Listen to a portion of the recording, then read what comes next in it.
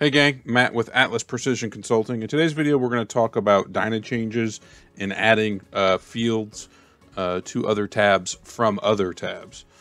Um, this is a very useful thing that not everybody should have access to do. This is a permission-based thing, but the understanding of it may help you um, request things that would make you doing your day-to-day -day jobs a little bit easier. So we're going to do a pretty simple one here.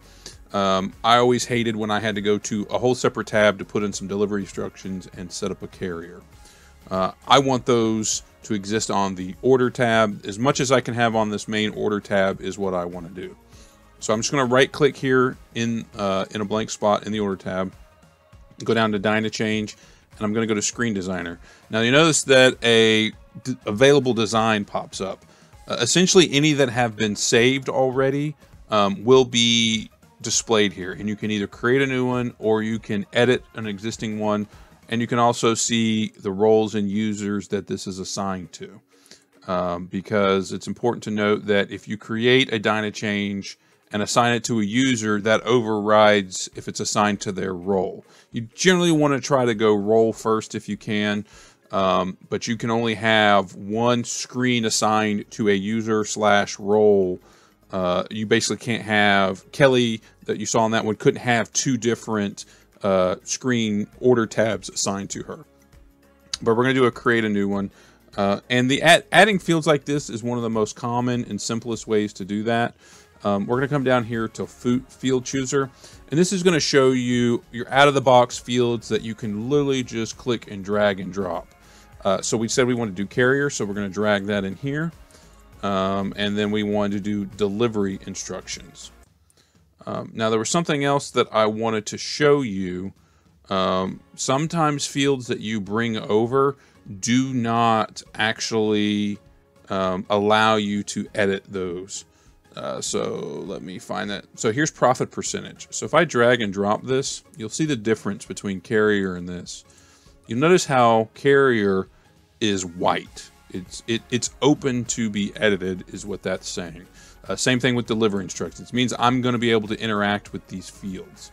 Uh, now profit percentage you'll notice is gray and if I click on that you'll notice it's protected and I can't unprotect it. Some of these things are hard coded where you cannot get over them.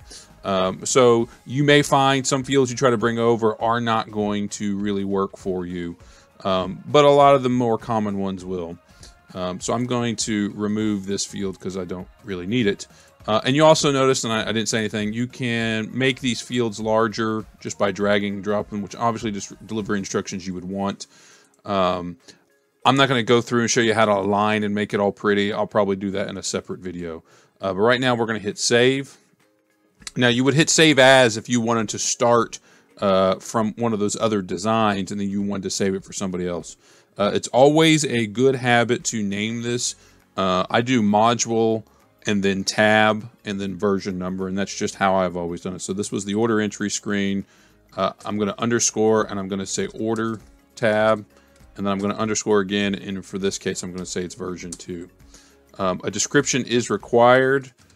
Um, and this is the other important part here. You can assign to a role or you can assign to a user or a combination of both. So if we had multiple roles over here and it was admin, but then I also wanted to uh, add D Clark into that, even if he's not an admin, I could do that.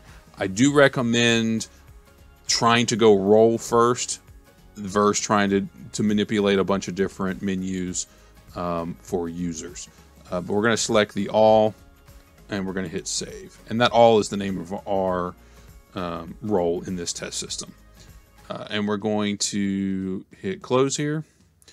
Uh, now you're going to have to either log out all the way sometimes, or you might be able to use the close and rebuild. So give me one second and we will do that.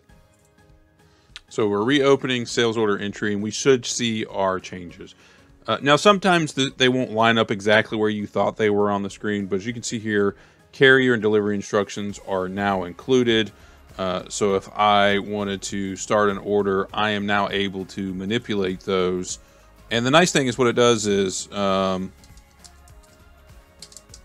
if you put a note in here, if you set the carrier, uh, it is actually updating the same info on the ship, ship info tab. So if you have carry or deliver instructions showing up on your documents already. It's not a new field. It's just allowing you to access those and edit them from the front tab instead of having to bounce back and forth. Um, we're going to have some more Dynachanges videos coming uh, down the road. Uh, if you have any questions about those or, or any other topics you want to see, put a comment down below. Make sure you like and subscribe. And as always, Atlas is here for your P21 needs.